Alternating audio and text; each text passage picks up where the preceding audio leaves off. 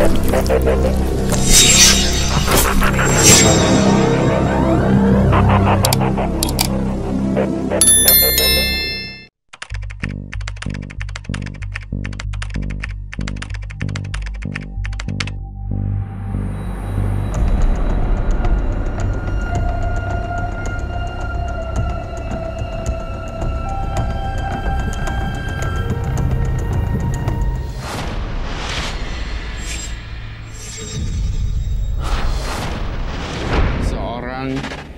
yang mempunyai kamar khusus yang tidak bisa dibuka atau dirahasiakan.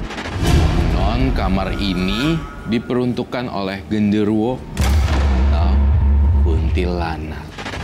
Saya milih angka kelahiran nomor 29. Yendra, kelahiran tanggal 29, nenek buyutnya memelihara genderuwo. Ada sisa rambut genderuwo di tubuhnya. Menurut pengakuannya, Yendra memasang susuk untuk kewibawaan dan lancar usahanya. Sampai kapan karma buruk ini akan terus ada? kecil itu ada istilahnya itu dari apa ya dibilang ya eh, uyut lah gitu uyut. itu jadi dari orang tuanya nenek itu nggak sengaja saya lihat ada sosok Gundurwo di dalam kamar mandi ada sosok yang tinggi besar tapi rambutnya panjang tapi agak serem lah brewok brewok. Serem ya. Kayak eh, biasanya Roy kan bisa melihat secara transparan sesuatu ya. Iya dong. Kalau kamu masuk ke dalam rumahnya gitu, emang yang pertama terlihat seperti apa sih aura terus ruangan-ruangannya? Ini saya melihat di sini eh, hmm, bau kayu yang lapuk dan usang karena di sana banyak ternyata banyak ornamen kayu.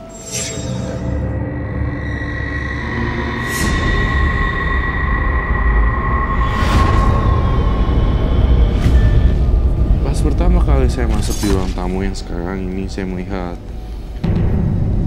agak masih lebih mending, tetapi ada satu lorong menuju dapur dan menuju eh, menuju dapur dan menuju eh, kamar mandi tersebut sudah berbeda rasanya.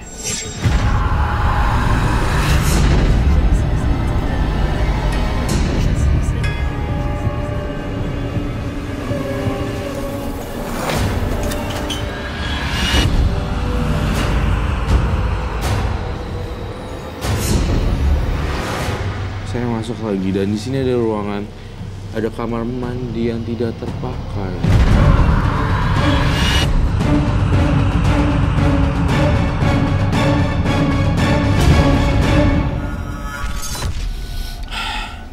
Airnya tidak ada karena sudah dikosongkan dari lama dan kering. Eh, tegel terbuat dari tegel ini saya lihatnya.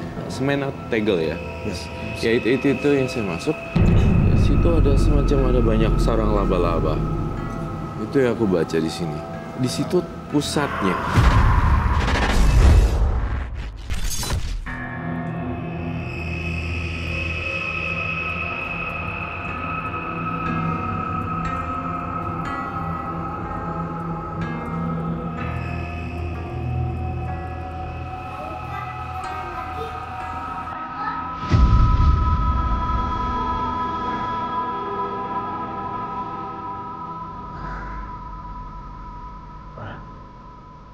Ma.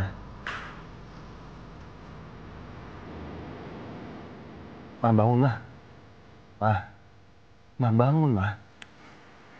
Bangun sebentar tuh. Arsya kayaknya main lagi deh sama anak penghuni rumah ini. Si Mama. Ma bangun. Ma. Mama.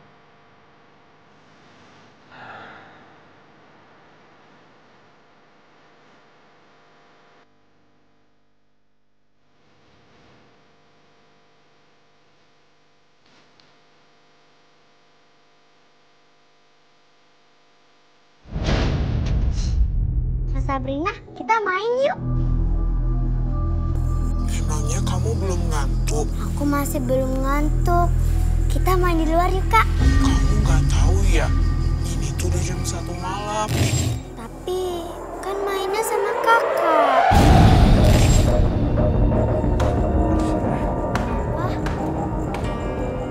Siapa belum tidur, Nat, jam segini? Semua main lagi. Lagi Arca sama kakak Sabrina selesai kok mainnya.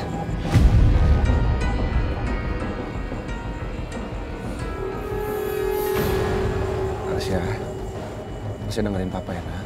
Kak Sabrina itu, dia udah bukan lagi seperti kamu nak.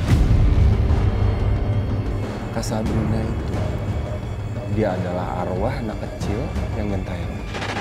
Sedangkan Arsya, Arsya belum. Sabrina sama Arsya itu beda dunia sayang. Arsya nggak boleh ngikutin Sabrina ya. Ya? Aku pulang ya. Kak, aku mau ikut sama kakak. Arsya, Ntar, Arca masih mau main sama kakak Sabrina, Pak. ini udah malam nah, ayo tapi tidur Arca dong. masih mau main. Nggak boleh. Arsya, Pak. ayo ya Pak, tapi Arca Ayo masih mau main. Ayo nanti kamu diculik orang loh. Papa, Papa, Arca masih mau main. Udah malam. Tapi ini udah malam Arsya. Arsya harus tidur.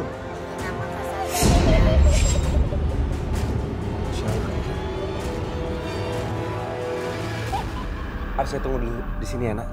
Ya, Pak. Papa bantuin mama dulu.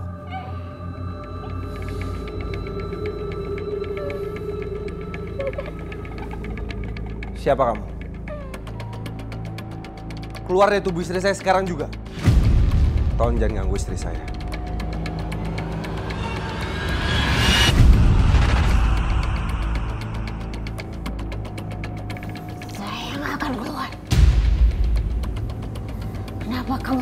ngusir saya? Karena tubuh istri saya itu bukan tempat kamu. Pergi sekarang. Selalu saja mengganggu penyimpanan saya.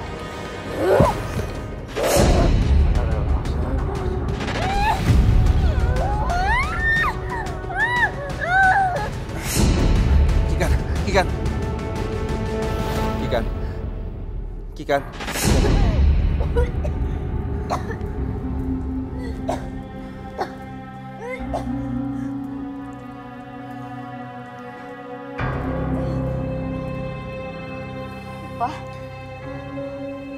A- a- aku kenapa lagi sih, Pak? Kamu gak apa-apa. Nggak, nggak mungkin. Kamu pasti bohong, kan? Enggak, kamu nggak apa-apa. Eh, ya udah, kamu istirahat ya.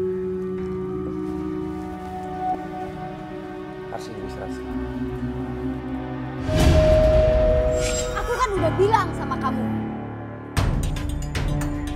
Aku itu nggak mau tinggal di sini.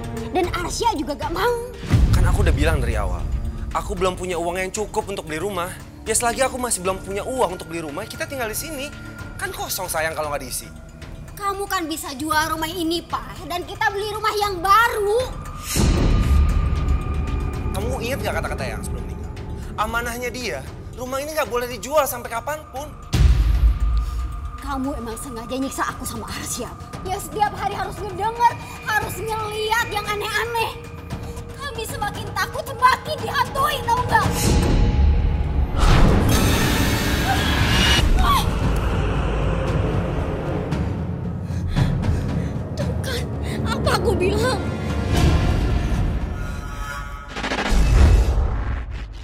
Eh, satu pertanyaan lah saya, tapi kamu harus jawab jujur. Di sini memang ada kaitan spiritual, tetapi kamu juga suka mengunjungi orang-orang spiritualis ya, untuk oh, untuk mengasah atau mencari tahu karena penasaran. Iya. Jadi tujuan saya ke sini, saya mau minta tolong sama Pak Salman untuk bersihin semua arwah negatif yang ada di rumah saya. Itu bukan persoalan susah buat saya. Apa? Belakang kamu itu siapa?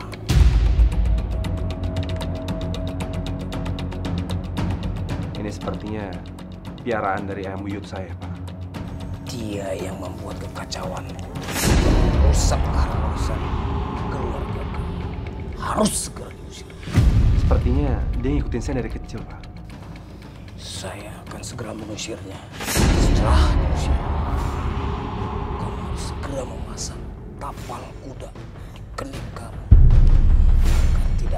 lagi yang mau mengikuti kamu. Kemudian, apa yang kau inginkan akan semua.